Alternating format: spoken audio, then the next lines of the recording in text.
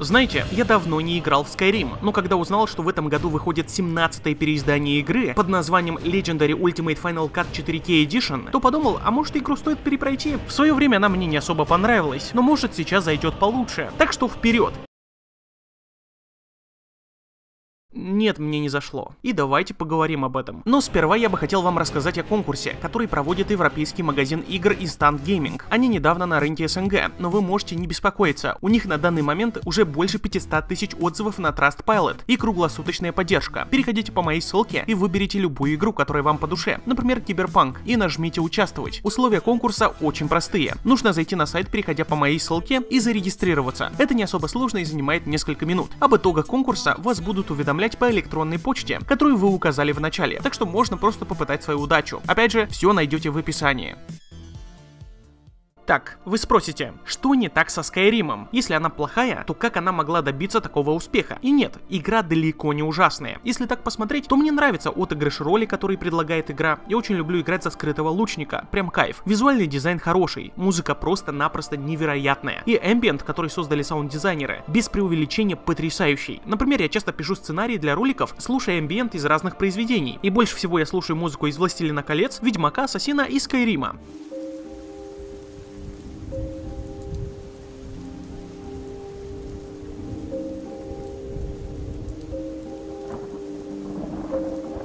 Не, ну реально атмосферно. Также в игре много лора. Плюс, конечно, есть моды. Так что игра еще и платформа для полного полета твоей фантазии. Ты буквально можешь делать в этом мире все, что хочешь. Это очень сильная концепция, которую разрабы особо даже не задумывали. Но она выстрелила, потому что многие мечтали о такой песочнице годами. Вот честно, если бы мне в детстве дали эту игру со словами «Чувак, вот тебе мир полный возможностей, устанавливай столько модов, сколько хочешь, воплоти в реальности все свои фантазии», то я бы только в эту игру играл. Поэтому Skyrim до сих пор пользуется популярностью популярностью, потому что в ней можно провести сотни часов, создавая свой уникальный фэнтезийный уголок. Плюс некоторые создают невероятно прекрасные вещи, как, например, чуваки из Германии, которые сделали полноценную игру из ассетов Скайрима под названием Enderal. Это настолько качественная RPG игра, что я до сих пор в шоке от этого. И уже год с лишним пою от этой игре. Ну и раз столько хорошего в Скайриме, то как она может мне не нравиться? В чем проблема? Кто бы что ни говорил, но в РПГ квесты это важнейшая вещь. Нет ничего более значимого, потому что мы люди, и мы любим, когда нам рассказывают красивые и интересные истории. Нам с самого детства это нравится. С возрастом вкусы меняются, хочется больше, чем просто сказки. А некоторые даже Берсерка читают, доходят до 13 тома и получают психологическую травму. I wasn't ready for this, okay? I...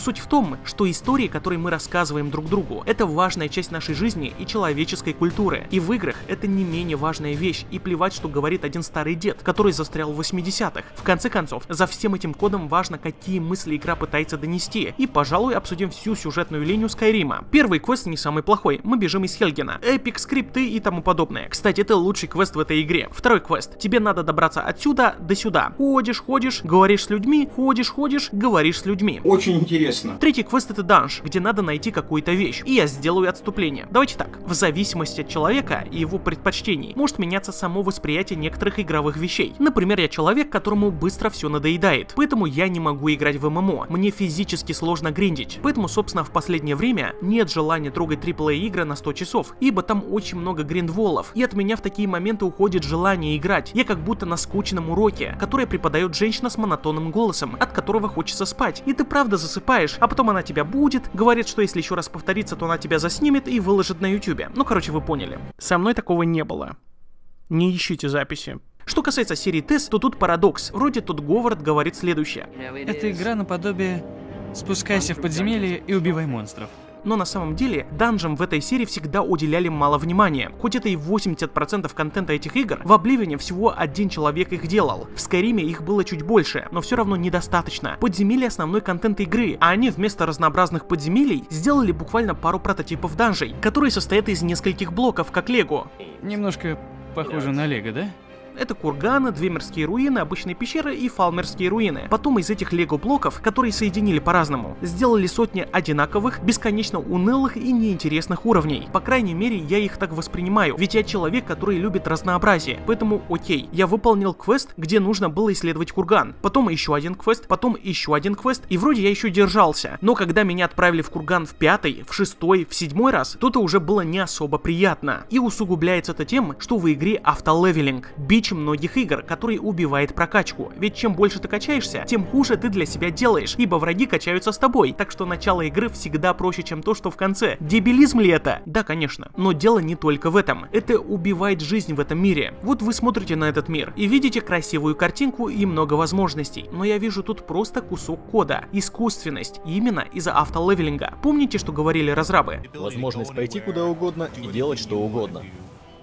Самому контролировать свой игровой процесс. Это полная чушь, потому что мир полностью подстраивается под тебя. То есть у тебя выбор, пойти вправо или пойти влево. Так вот, куда бы ты ни пошел, ты встретишь одни и те же вещи, потому что игра крутит мир вокруг твоего уровня. Когда ты заходишь в подземелье, игра сразу понимает, насколько ты прокачан, и автоматически меняет все на уровне. Типы врагов, лут в сундуках и даже монеты в урнах. Тут нет какой-то уникальности, какой-то ручной работы, ничего. Так что фраза «иди куда хочешь и делай что хочешь» вводит тебя в заблуждение. Оно скорее должно звучать так. Иди куда хочешь, в пределах карты, конечно, и делай то же самое, что ты бы делал в другой локации. Но, пожалуй, это не так эпично звучит, хоть и правда. В общем, вы поняли мое отношение к данжам. Тут прям плохо. Поэтому возвращаемся к сюжету. Этот квест с данжем и следующее задание с драконом, на удивление, не самые плохие. Но это только потому, что их показали еще на E3, так что поэтому и старались. Просто не могу поверить. Ты Давакин. Спасибо, я так и знал, что я избранный. После этого ты идешь к высокому Хродгару.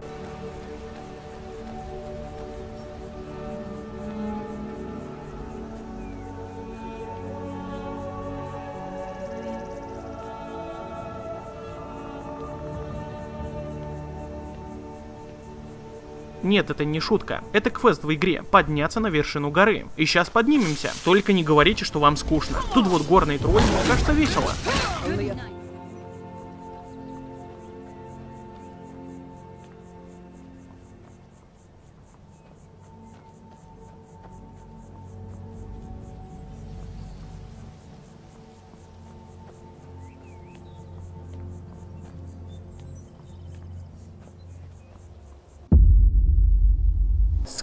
Скайрим. Скайрим. Скурим. Скурим. Что, все? Так вот, кто подумал, что это будет интересно? Покажите мне этого человека. What? That really pisses me off. Дальше опять задание в кургане, а в следующем квесте мы еще раз убиваем дракона. Это верно, да? Ты и вправду Давакин. Да, я это уже знаю. Как бы я даже по ступенькам поднимался, кричать умею. Почему мне показывают одно и то же? Просто не могу поверить. Ты Давакин. Ты и вправду Давакин. Можно уже приступить к реальному сюжету. Дальше мы проникаем в посольство каких-то эльфов. У меня даже помощник. Смотри осторожней.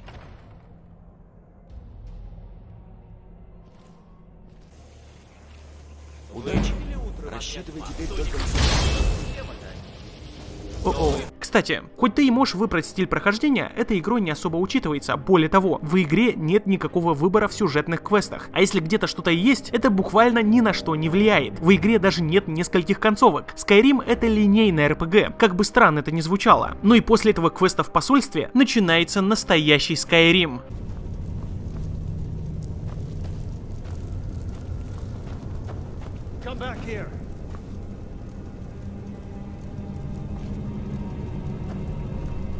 Скурмир. Смарим. Слайм. Я, короче, в канализации пытаюсь найти чувака, который нужен по сюжету. Но думаю, дальше сюжет разгонится. Прям я, я ощущаю этого. Мы проходим пещеру и находим стену Алдуина, из которой узнаем невероятную вещь, что главного злодея дракона можно убить криком. Хотя, стоп, что? Разве мы этого не знали? Прошло почти две трети игры, и мы только что узнали, что драконов можно убить при помощи крика. Хотя каждый бомж в игре это знает. Есть только один способ проверить. Попробуй крикнуть. Сказания говорят, что только драконорожденные могут кричать без предварительного обучения.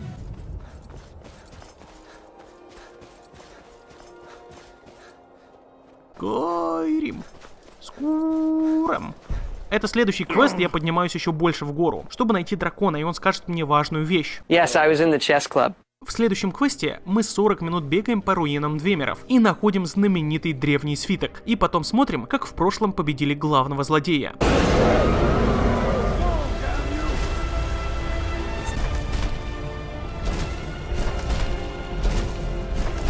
Мы учим все нужные крики из прошлого, сидим за столом и обсуждаем дальнейшие действия со всеми. Мы должны поймать дракона, что звучит эпично, но на самом деле это самая обычная драка с драконом. После чего 40 минут мы бегаем опять по кургану, находим портал в другое измерение, где прячется главный злодей. И он, Алдуин, пожиратель миров, создатель цивилизации драконов, предвестник апокалипсиса, существо, которое путешествовало во времени, монстр, который... А, мы уже убили его, да? Скайром. Знаете, раньше сюжеты в играх были простыми. Про избранного, который убивает злого злодея. И в Моровинде беседка сильно высмеивали это. Главный герой пришел на остров Варденфелл и говорил местным, чуваки, у вас тут Дагатур творит фигню, он болезнь распространяет корпус, а у вас даже вакцины нет. Типа дебилы, вы все умрете, сделайте что-нибудь. И ему отвечали, чувак, чувак, успокойся, тут Азура нам рассказала, что придет избранный и нас спасет, так что все будет нормально. Еще они добавляли слово анвах. Они, короче, там были расистами, но не суть. И герою приходится имитировать избранность. Хотя до этого таких избранных было очень много. Ну и это довольно смешно и свежо смотрелось. А Skyrim это игра, где ты избранный и убиваешь злого злодея. Oh no. И другие квесты не лучше. Все сюжетки гильдии проходятся за 3-4 часа каждая. Это невероятно мало. И в 90% из них ты просто идешь в однообразных подземельях, где еще и автолевелинг. В том же Моровинде было 500 не самых плохих квестов. В Обливине их в два раза меньше, но они куда интереснее. А в Скайриме их где-то 270, они очень короткие и неинтересные в плане сюжета. Что-то запоминающееся ты находишь крайне редко. Поэтому, насколько бы я не любил атмосферу, визуал и так далее, в итоге я все равно скажу, что Skyrim мне не нравится. Мне просто не может понравиться игра, где такая ужаснейшая история. Поиграйте в Enderal и сразу поймете, как игра на том же движке с теми же механиками может быть в десятки раз лучше, чем Skyrim. Я не буду отрицать влияние игры на игровую индустрию. Этот компас куда только не вставляли. Ведьмак 3 не был бы такой игрой без Skyrim, как и Kingdom Come Deliverance. Но Skyrim без модов на данный момент мало что может предложить. Поэтому беседка продает новое издание почти за full прайс, где основная фишка это моды. А на сегодня у меня все. Поддержите лайками и подпиской, если понравилось, но если вдруг задел ваши чувства, то ничего. Например, вам может нравиться репетативность. Многие же играют в дальнобойщика. Просто Skyrim никогда не была моей игрой, хоть некоторые ее аспекты по типу музыки я люблю. И кстати, из-за такой незаслуженной популярности Skyrim, Т6 так до сих пор и не вышла. Зачем выпускать новую игру, если можно продать 20 переизданий Skyrim? Если вы хотите, чтобы мы прекратили выпускать переиздания Skyrim, прекратите их покупать. Так и сделаю тот, не переживай.